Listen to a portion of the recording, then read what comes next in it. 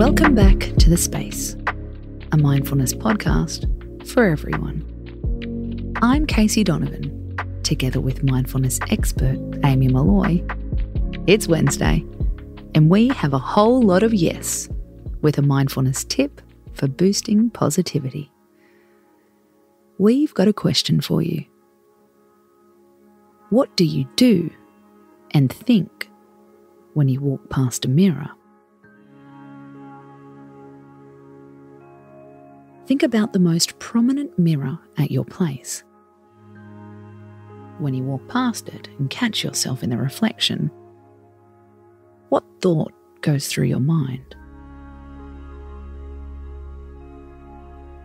And now, how do you react physically?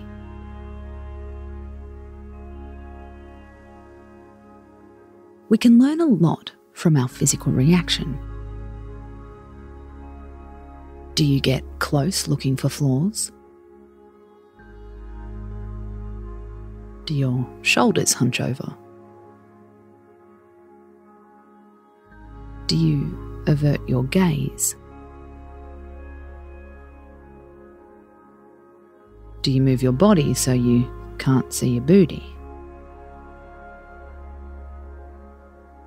All these physical reactions send cues to our mind I am not worthy. Looking in a mirror can be a transformational experience if we let it. The problem is, we only let our doubts shine through. How can we look at ourselves differently? We've got a challenge for you. For the next seven days, every time you look in the mirror, strike a pose that says, I'm hot.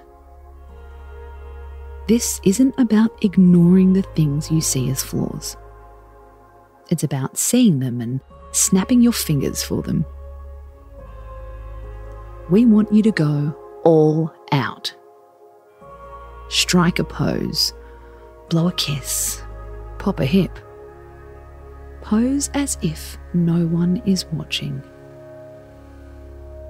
Research has shown that confident poses can make us feel more confident. It's called postural feedback. And it's all about how our body positions affect our emotions. It's why sitting with your shoulders slumped over can affect your confidence, and not in a good way. This is why our mirror reactions are so important. Are you up for the challenge? For seven days, every time you see your reflection, challenge your response. Strike a pose, love yourself, boost your confidence. Send this episode to anyone in your life who doubts themselves, even if they're fly AF. Sometimes we can't see the truth in the mirror. We need someone else to get rid of the glare. Space out.